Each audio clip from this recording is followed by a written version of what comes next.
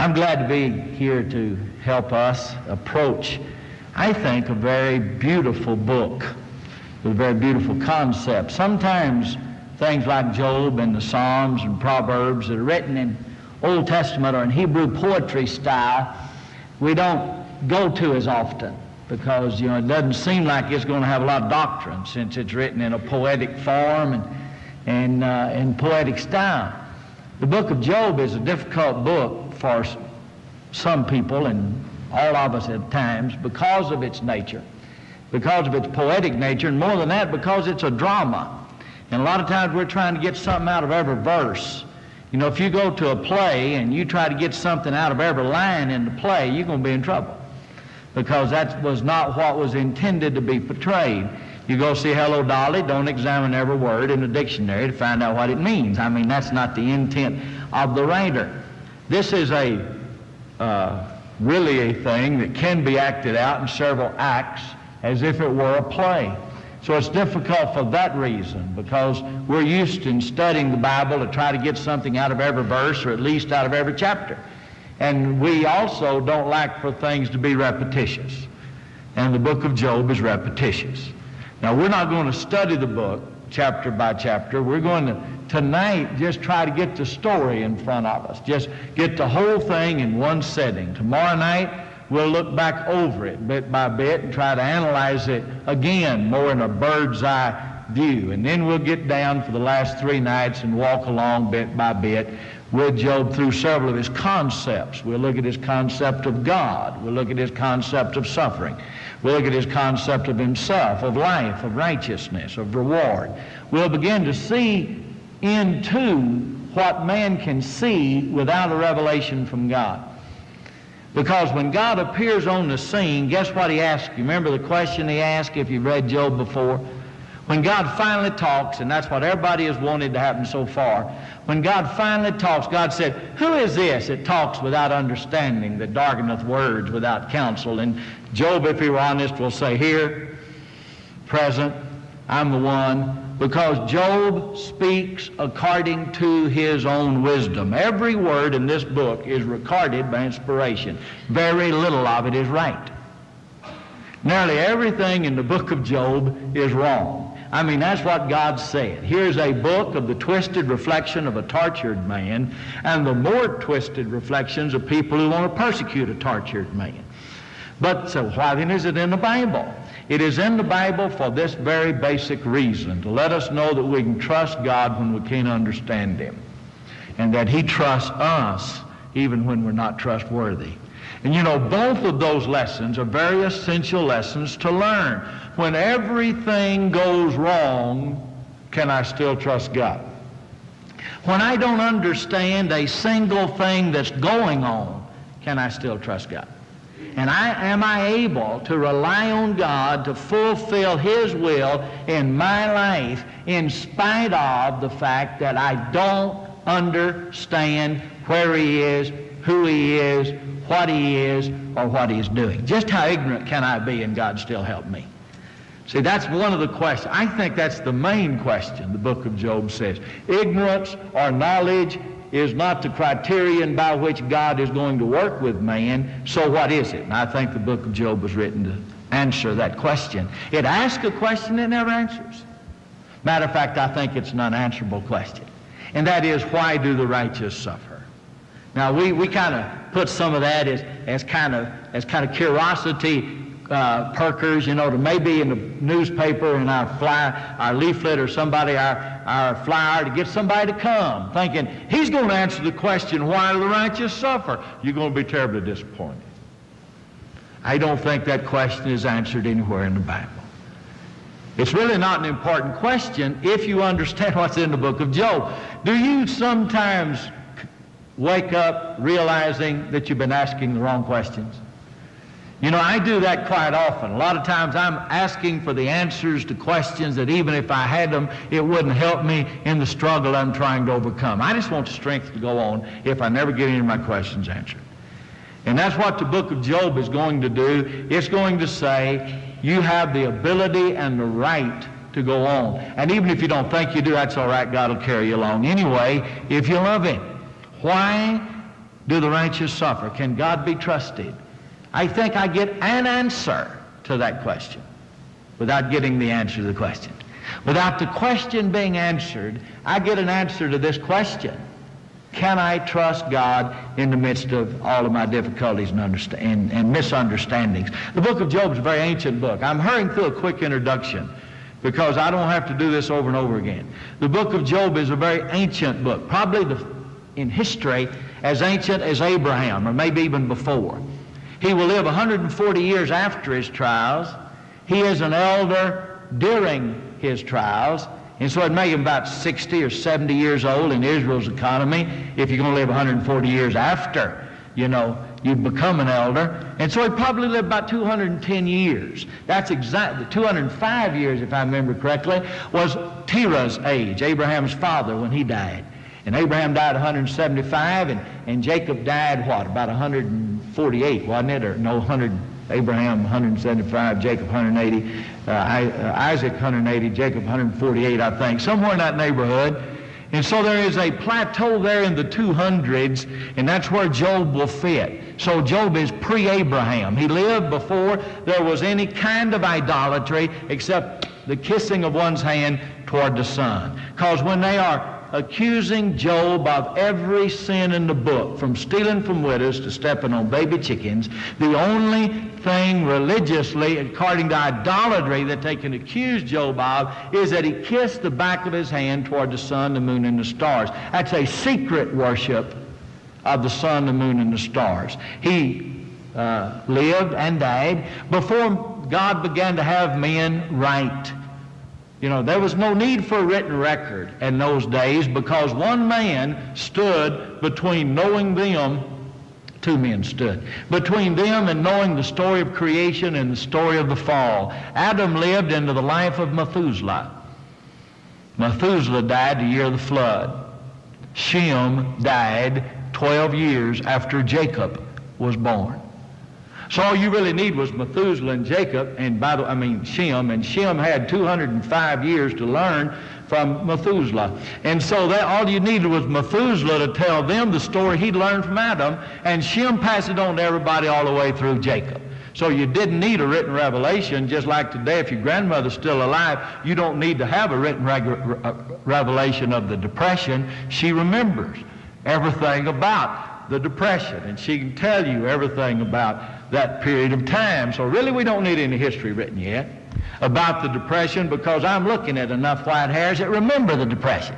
I know we do because every time we start doing something great and going to require a lot of money, we're still talking about, well, we got to continue to save for coming depression. Boy, you didn't live through the depression. So I know we don't need a written revelation about the depression. So Job lived in a time that you could get ear witness from an eye witness of the flood who had had the ear witness from an eyewitness of creation. And so there was no need for written record. So I don't really know when the book of Job was written. The period of time was pre-literary, before God ever started having man write down his word.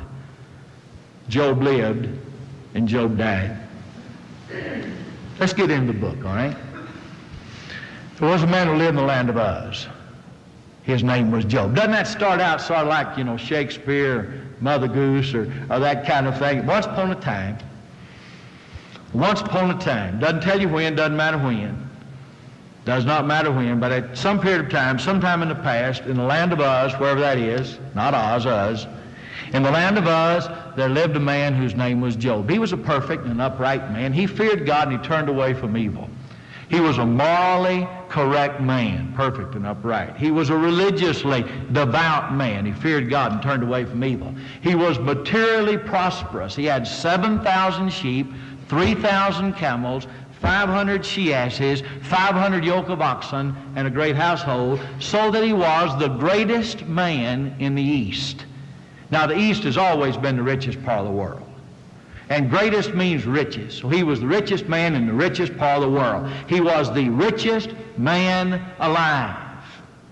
Nobody possessed more goods than Job did. He was the richest man in the world. 7,000 sheep, uh, in anybody's age is a lot of money. In that age, a ton of money. This fella, you know, uh, if I had time, I've got memorized, if I could get out of the computer bank, a modern parallel to him. It'd be a fellow with something like, you know, 30,000 head of prime Hereford. And, you know, whatever else. Whatever else would go with the richest rancher in all the world. Here is the richest man in the richest part of all the world. Morally correct, religiously right, materially prosperous, domestically happy. He had seven sons and three daughters. In the book of Psalms 127, about verse 3 to 5, or somewhere in that context, David says, Happy uh, that, that a man's sons are his inheritance from the Lord, and blessed is the man whose quiver is full of them. And Job's quiver was full. He had seven sons and three daughters. They loved each other so much that on every one of them's birthday, the fellow whose birthday it was gave a party for everybody else. Now that's just the opposite of the way we do it today. On a fellow's birthday, we give a party for him. But every time one of Job's sons had a birthday, he gave a party for every one of the other six sons and the three daughters, and they had a good old time.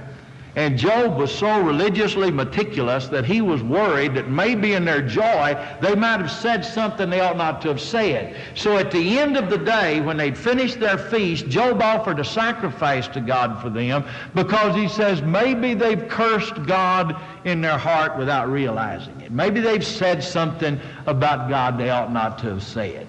So the man is an unusual man. The scene shifts from earth down here where Job is all this rich to heaven. And it comes to pass on a day that the sons of God, that's angels, come to present themselves before God, the devil comes too. He'd rather not be there. You can bet on that. It proves he's a servant of God. Did you understand the devil's a servant of God? Now, he's an unwilling servant. He's a disobedient servant. He's still a steward. He's still a servant of God. And every servant must occasionally do what? Make a report to the boss. He must make a report to the master. So when the sons of God come to talk about their service on earth on behalf of God, here comes the devil too. He doesn't want to say anything. You know how I know he doesn't want to say anything? God asked him a question. Where have you been? Now he's not asking for information. He is not asking for information, for the eyes of Jehovah are every place, keeping watch upon the evil and the good. The 28th chapter of Proverbs says. So God doesn't ask for information. He's omniscient. He already knows. He says, Satan, where have you been? He said, make your report. Tell me about your service for me. And he boasts of a great territory. He said, I've been walking up and down in the earth and going to and fro in it. And then God said, you hadn't looked at Job. Have you considered my servant Job? Now watch God's estimate of Job.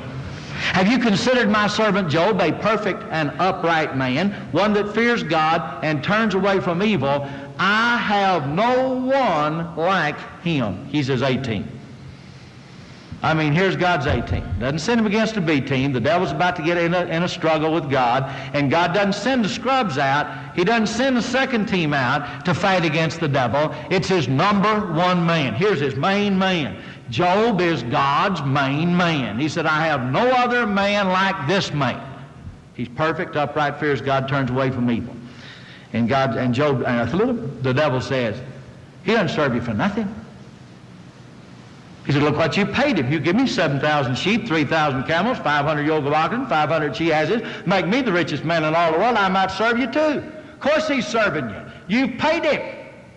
Said you built a fence about him so that I can't touch it. Has he, is he right so far? Is the devil right so far? He's right so far. You know, the clock he doesn't run is right twice every day. And so the devil is right.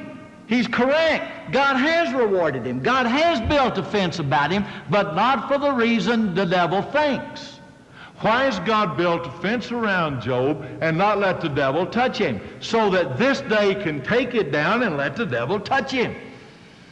It would have been no struggle if the devil had been able to afflict Job all along. God made Job underprivileged by not being afflicted all these years. Isn't that what the Bible says? What are we to, what are we to count pure joy? Prosperity or trouble? Now, prosperity is all right. It's got some joy in it. But you know what ought to be counted pure joy? James says, Count it pure joy, my brethren, when you fall into manifold troubles. Now, how many of us have obeyed that passage this week? I mean, that's a difficult, difficult one to obey today.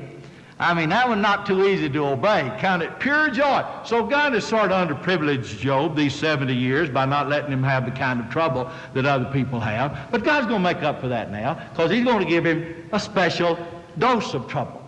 More than other kind of folk have had to have because he needs to catch up, doesn't he? Since he's been underprivileged and God has not been blessing him with a lot of trouble, now Job ought to have an extra dose of it. If God is a just God, he's going to let Job catch up with the rest by really making him have a lot of trouble. Well, Satan says, let me touch it. Just let me touch it.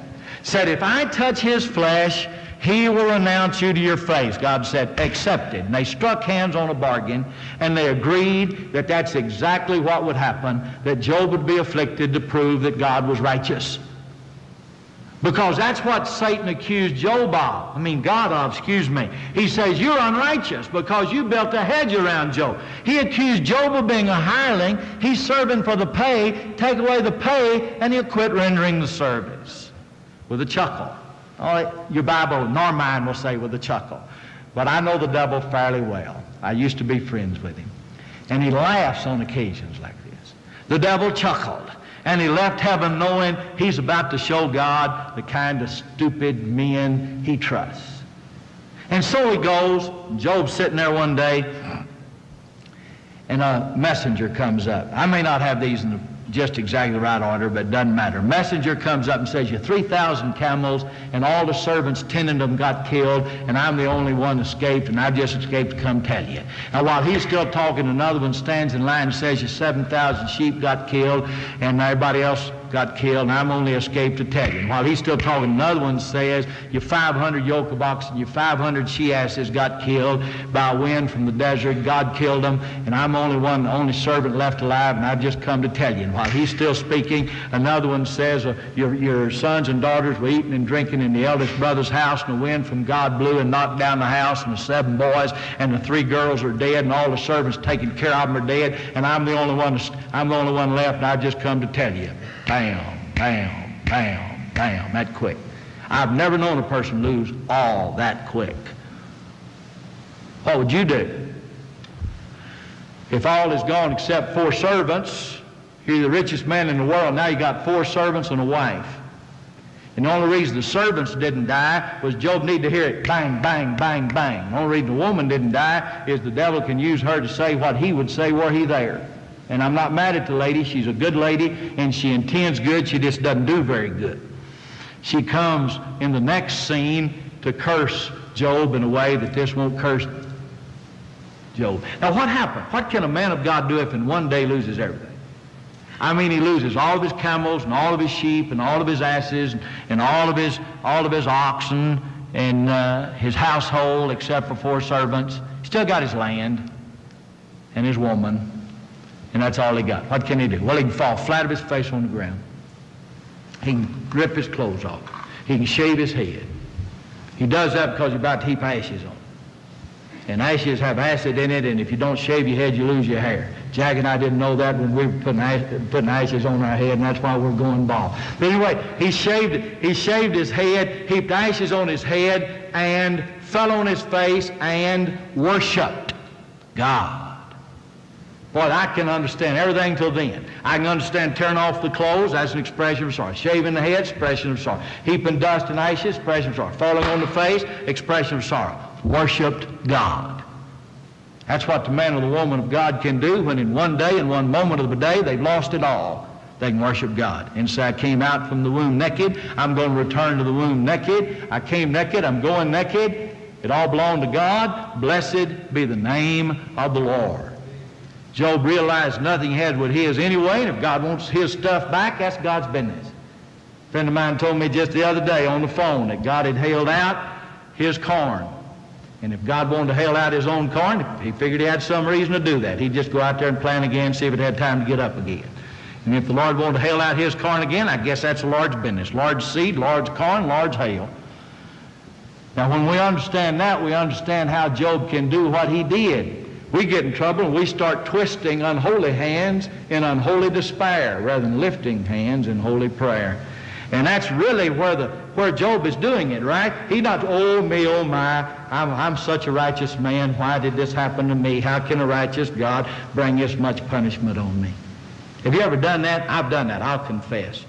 I mean, I've done that. I've made that response to God's blessings. Job just said, Blessed be the Lord, praise the Lord, hallelujah. It belonged to him. Evidently, he needed it somehow, and so it's gone. But blessed be the name of God. Scene shifts back to heaven. Came to pass on the day the sons of God came to present themselves before God, the devil came, and God said, Where have you been? And if God laughs, and I think he does, because I'm his friend now rather the devil's, and I believe I've heard God chuckle, I believe God said, Satan, where have you been? Because see, Satan doesn't want to say a word because he's already got one sound whipping, right? And that's the way I am. When I lose, I'd rather be quiet.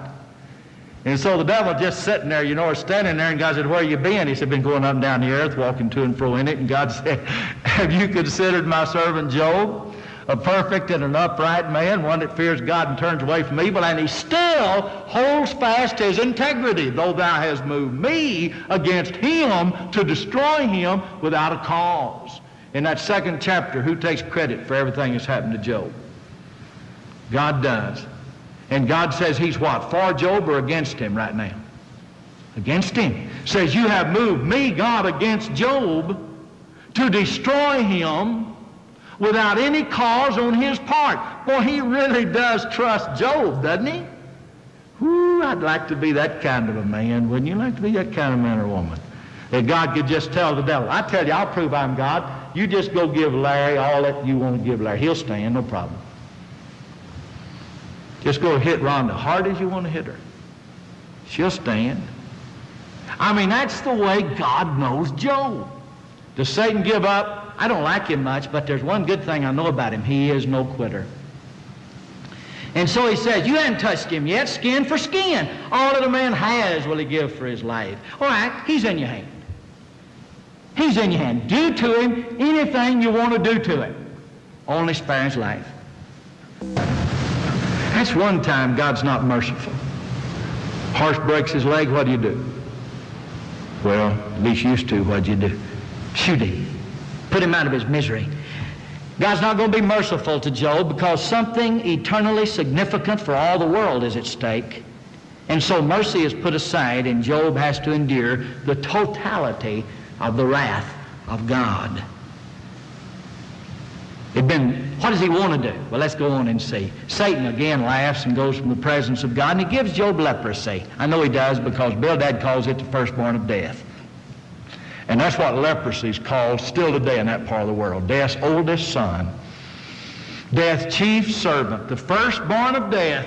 Leprosy itself, he gets from the bottom of top of his head to the bottom of his feet. I always ask this question at this point. How many of you have seen a leper? One, two, three, four. Four. Nobody on this side. Four people are already sick at their stomach with the word leper. Right, Martin? I mean, when you really, right, Priscilla? I mean, when you see a leper, the only time I've ever seen Priscilla's father, Parker Henderson, frightened was when he woke up the next morning and was told he'd slept in a bed a leopard slept in the night before. The only time I've ever seen Parker Henderson frightened in all of my life because he'd slept in the bed with a le- that a leopard slept in the night before. Leprosy is the most hideous disease there is to the eye and to the nose. And Job has it for months. Chapter 7, verse 5, Job says, Months of misery have I. He doesn't have leprosy for a little while. He says maggots eat his flesh. It falls from his, his flesh falls off and his bones are exposed and worms and maggots crawl around inside of his flesh. He scrapes his, himself with a piece of pottery, just trying to get all that dead stuff off of him that smells so foul. Well, he's gone from the fellow when he entered the place of judgment. The old men stood up and the young men left.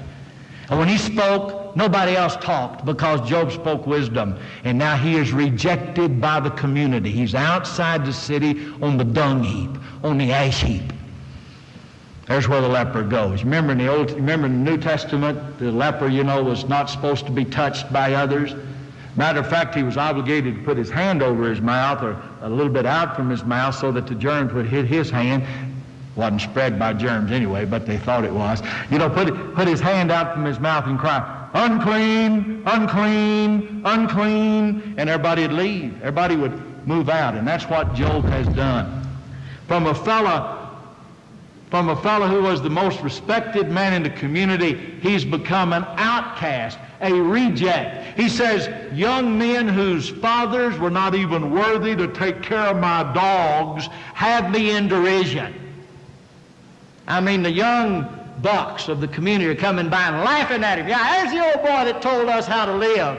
He's an ungodly sinner. Look at him on this ice heap. Months. Months he's out there. When he finally gets to talking, he's going to tell you that his concept of God is that he always rewards the righteous and punishes the wicked right now. So what does his theology tell him about himself? That he's a bad, bad sinner. But he searches his heart. What does it tell him about? Ain't no sin there. That explains this. Now what's he going to listen to? His Bible, his theology, or his heart? Well, with those two dilemmas, I don't really want to tell you what I might do. I hope I'd listen to my Bible, but if Job does, he's in trouble. I'm not talking literally about his Bible. I'm talking about what he thinks he knows about God. And a lot of times I equate what I know with what the Bible says. Do you ever do that? You know, the Bible's inspired, but my interpretation's not, neither is yours. And so what God, what Job had heard about God was right. What he thought about God was wrong. He thought God rewarded people right now. So he's got a civil war going in him. One day his wife comes out the gate. I think he says, oh boy, boy, boy, boy, this is going to be good. She loves me, I love her. She doesn't know any more about this than I do, but maybe she'll come, we'll just smile at each other and she'll pat me. Maybe she'll dare to touch me.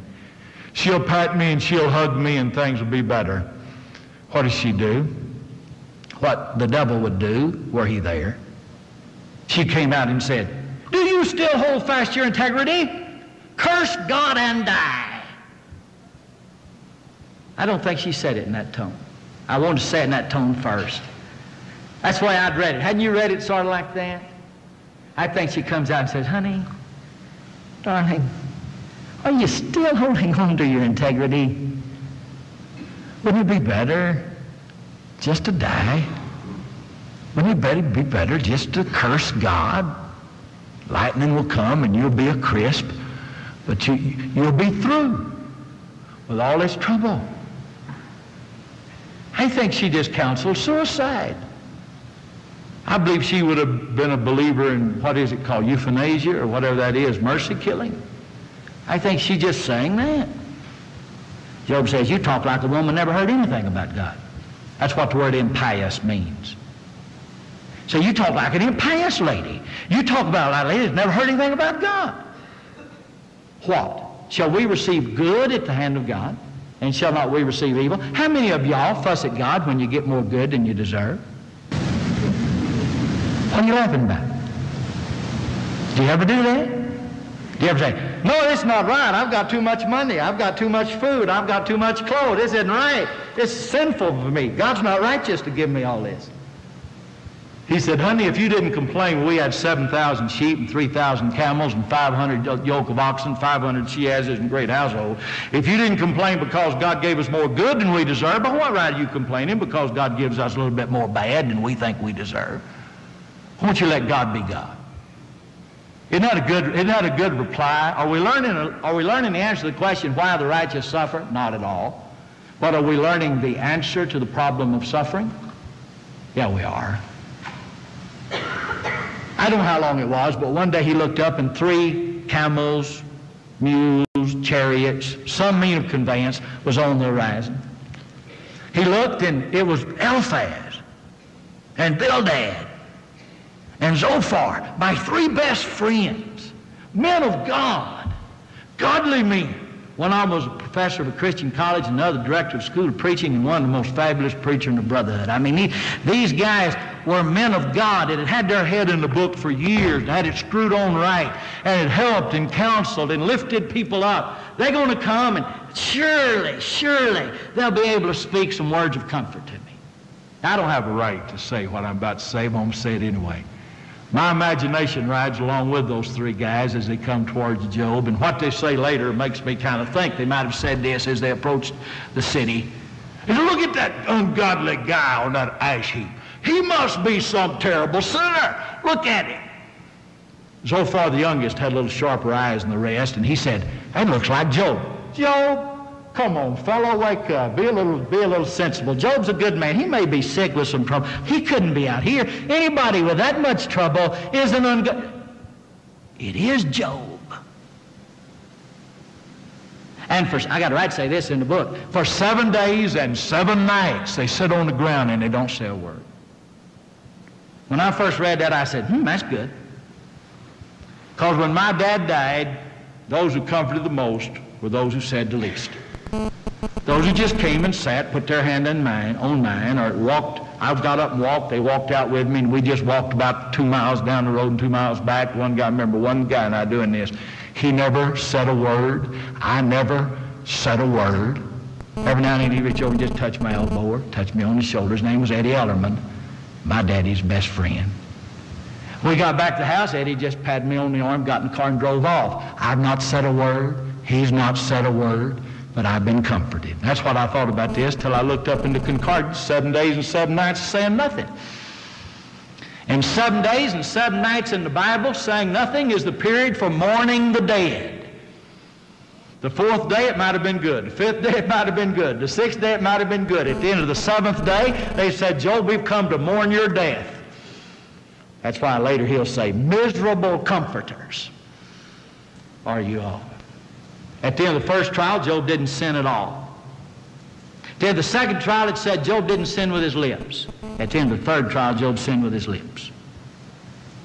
Chapter 3 is a terrible chapter. Wish it, sometimes I wish it were not there, but I'm sure glad it's there because it shows the depth to which a child of God can sink and still come back. Job curses. It's a rash speech. I call chapter 3 Job's rash speech. First of all, he asks the question, why was I born? Text says he cursed the day of his birth. He said, just remove that day from the calendar like it was today, June the 3rd. From now on, go June 2nd, June 4th. And don't have a June 3rd anymore. Just let that day perish and there be no June 3rds and everything that's ever happened on June the 3rd, let it no longer be in existence just so that I don't have to be here suffering out here on this ash heap listening to you fools. Listening to you miserable comforters. Then he said, secondly, why wasn't I born dead? Why didn't they just take me from the womb to the tomb? Why didn't they go announce to the, my mother is a boy, but he's still born, he's dead, and we've already buried him? And his third question is, why can't I die now? And that's the worst one. The first two are impossible. Why was I born? Why wasn't I born dead? Why can't I die now? He's not like Paul who wanted to die and go be with Christ. He just wanted to die to get rid of his troubles. His was a statement of unbelief. Paul's was a statement of belief. If I've got a lot of troubles about me and I say, I wish I could just die, I'm saying God doesn't know what he's doing. That's what that statement says. That's a statement of unbelief that doubts the ability of God to know the future and doubts the providence of God and doubts the love of God and doubts the power of God. So Job is now a doubter. Isn't it good to know a doubter can still be acceptable to God? Because Job's going to be acceptable to God through this whole thing. He doubts right now. But God knowing the future, just patting his foot and waiting. Because God knows the outcome of all this. I'm so glad God is God, not Job. I'm so glad that God is God, not you. I'm particularly glad that God is God, not me. I don't want to run for God. And I don't want to try to make any of God's judgments for God. Three friends speak, and that's our discussion tomorrow night. If you're wondering why we've taken so long on this first, this is all we're going to do with it. And from now on, everything I say is going to be repeated in the succeeding nights. These, these three friends now speak. I give each one of them a nickname, and that's about all I'm going to talk about tonight, and I'll talk about what they said tomorrow night. Eliphaz is the exegete. Now, that's a, that's a preacher term. Uh, he's the Bible student. He's the Bible scholar. He's the fellow that if you give him a problem, he can quote a scripture. And matter of fact, he's got some proof text just waiting for the problem to arise. I mean, he's, he's got, he's had a vision, and he's got that vision. He's got his whole world wrapped up in that one vision. He understands one passage well, and so he's going to make everything in the world bend to that one passage. I've been there, and I know some of you well enough know you've been there too. You know, we get an interpretation of one segment or one concept or one thought, and all of a sudden we start bending Scripture to make it agree with that one concept or one passage because we won't let this one grow or we won't let a, chink, a chunk of it that was us, not God anyway, fall off so that God can supply something else. Eliphaz is the fellow who can quickly cite a proof text for any situation of life. We meet him in legalism today and many of the legalistic sects. Bildad I call the historian, the traditionalist. He thought all wisdom was dead. He was the fellow that anytime any problem came up wanted to know what the fathers had said. It doesn't matter whether it's Catholic fathers or Church of Christ fathers. It really doesn't matter which group of fathers it is. He's the fellow who thought that if I want to know what's right about blank, I go read Brother Blank's book on that. And I find out what's right about that. We meet this fellow in the overzealous followers of restorationalism and the Romanist. The third fellow is Zophar. He's the youngest, and I have trouble naming him, so I just call him the dogmatic rationalist. He was the humanist of his day in a way, but he was, a, he was not a secular humanist. He was a deistic humanist. He was the dogmatic rationalist who thought that his reasoning could supply any and all answers needed. And if he was alive today, he would start every answer with these words. Well, common sense says. You ever meet a fellow like that or a girl like that? You ever look at one in the mirror like that? They said, well, common sense says. You know the problem with common sense? It's neither common nor sensible most of the time. Brother Gus Nichols said one time we ought to talk about harsh sense. That's stable thinking. And so may, you know, but, but, but even then, it would be the wrong appeal. The way of man is not in himself.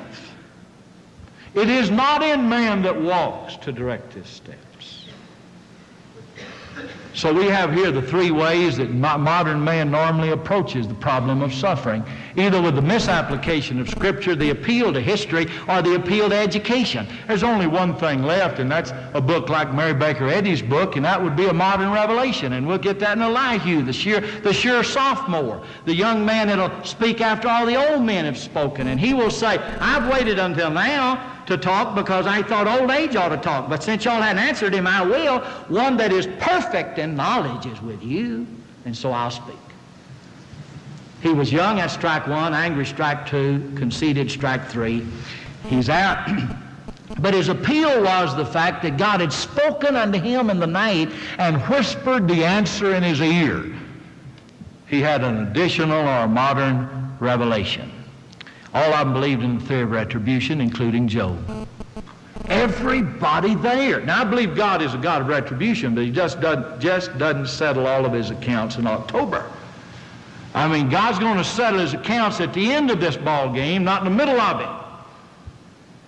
But the theory of retribution says that man is punished for his evil, rewarded for his righteousness, right now, in agreement with to the degree of his righteousness or his unrighteousness. Now, Elihu we'll talk about Wednesday night. Elihu is the sure sophomore, the young man who doesn't say anything new and doesn't say anything that he says very well, but he does emphasize something the old men had just passed over and not, and not really stressed like they ought to. So he does give Job a chance to say, I'll just wait on God. Because that's the only thing you and I can do when we don't have the answer, right? When we've searched and we don't have the answer, what's the only righteous thing to do? W A I T. Wait. And while you wait, shut up. While we're waiting, be quiet. Boom, boom, boom, boom. A, a storm starts. I know where it starts. I'll just point over here. Storm starts over here, and there's the lightning, and there's the thunder, and there's the heat lightning, and all of a sudden that snake, that rope cloud starts coming out, that tornado cyclone. whirlwind. And here it comes. Boy, there goes, there goes Elihu. He's gone. Whew. Eliphaz, Bildad, and Zophar get inside of a cave, you know, a storm shelter. Job gets down on his knees, holds up his hands, and faces the tornado. He's been wanting to talk to God through this whole book. I'll talk about that Tuesday night, tomorrow night. He's been wanting to talk to God. He said, God, where are you? I go to the right and you're not there. I go to the left, you're not there. I go forward and you're not there. I go back and you're not there. He forgot up. But he said, I'm running everywhere trying to find God. So I wish there was an umpire. Put one hand on God, one hand on Job. Said, God meet Job, Job meet God. Said, then I'd fill my mouth with argument I'd argue. I'd say, you take the, you take the affirmative, I'll negate, or let me take the affirmative, you negate. He challenged God to a debate. So here comes God to debate. Job turns, ready to debate. God says, before we start, let me ask you a few questions, just a short questionnaire, and, and then we'll have the debate. Uh, where were you when I laid the foundation of the world? Uh, did you decide how big the world would be? If, if you don't believe God can be sarcastic, you hadn't read Job. Have you listened to the song of the morning stars? Excuse me, I didn't hear you. Did you establish the boundary of the sea? Can you make the morning come when you're ready? Excuse me. God does say sometimes. I didn't, I didn't hear what you said, Joe. He said, have you ever walked on the ocean floor? Do you know where the light comes from? Do you know where I keep the snow? Do you control the lightning? Do you call for the stars when it's needed? Do you cause the stars to come out at night? Excuse me, I didn't hear you. What'd you say? Said, well, if you can't do that, how about this? Can you feed the lion and the raven? Can you, do you know how the mountain goats breed? That's the one out of the 17 we know today. Can you plow with the wild ox or the wild ass? Do you regulate the life of the ostrich? Do you give the war horse his great strength? Do the hawk and eagle fly at your command? Now answer that. As soon as you get that filled in, passing score, then we'll have ourselves a debate. You know what Job says? He won't go stick in your twice. I said, no.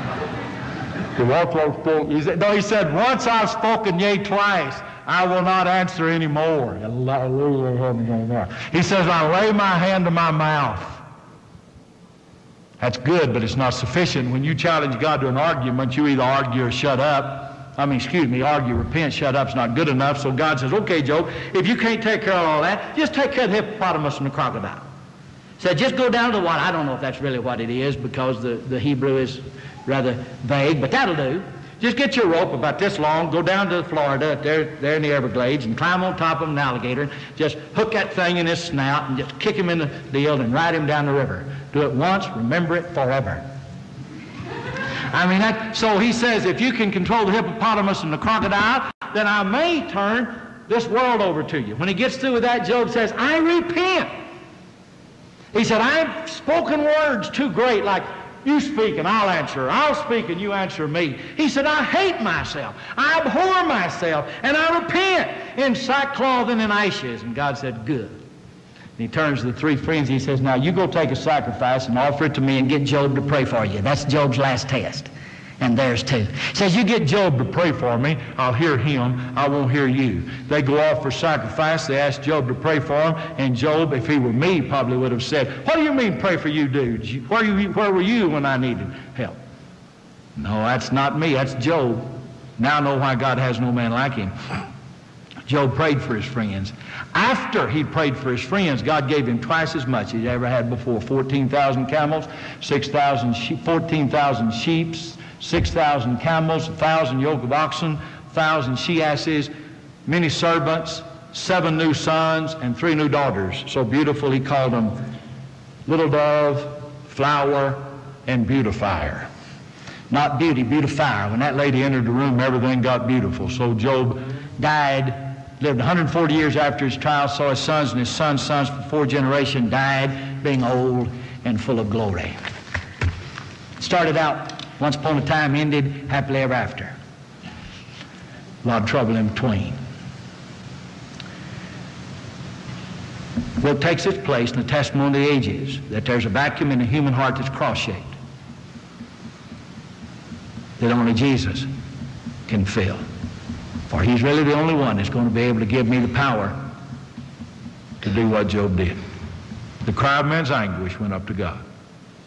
Lord, take away pain the shadow that darkens the world thou hast made, the close calling chain that strangles the heart, the burdens that weigh on wings that would soar. Lord, take away pain. from the world thou hast made, that it love thee the more. Then answered the Lord to the cry of the world, Shall I take away pain? And with it the power of the soul to endure, made strong by the strain. Shall I take away pity that knits heart to heart and sacrifice high? Excuse me. Shall I take, uh, let me back up and quote that right, will you? Will you let me? Shall I take away pity that knits heart to heart and sacrifice high? Will you lose from your life all your heroes that live white, fire, white brows from the sky? Here's the verse I want you to hear. Shall I take away love that redeems at a price and smiles at your loss? Can you spare from your life that would cling unto mine the Christ and his cross? Drive a peg. We'll be back tomorrow night and take up right here.